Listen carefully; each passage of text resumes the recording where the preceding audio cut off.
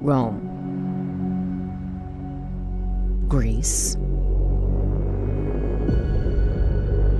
All democracies fail. Because people are fucking stupid.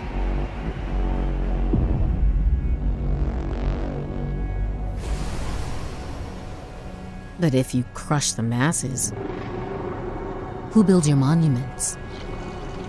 Who tongues your taint? Uh, the people will tear it apart themselves. You just gotta nudge them a little.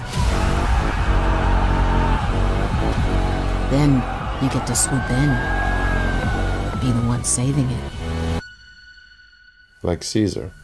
like Caesar.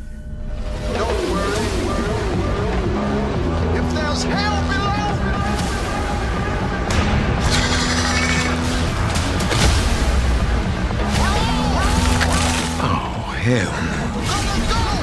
Who wants their balls crushed?